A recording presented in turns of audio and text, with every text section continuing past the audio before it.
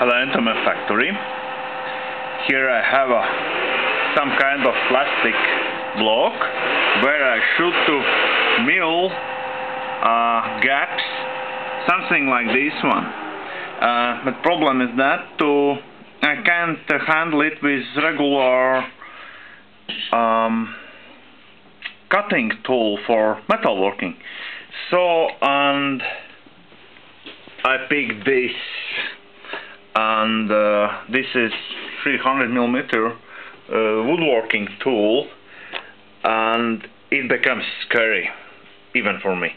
So um, let's try running. really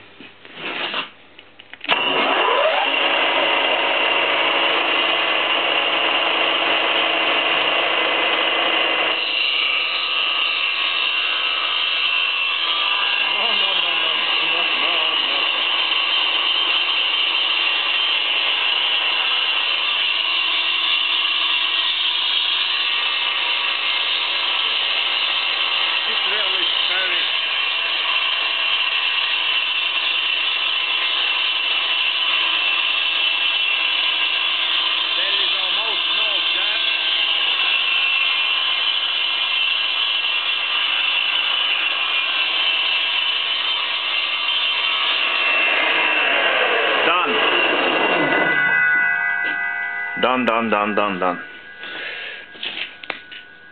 One I made. Left to do over here but this is not rigid anymore. I should to take it out and reset.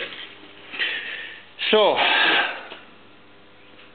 that is one of one of scariest works what I ever done so thanks for the watching. Good luck and have a nice day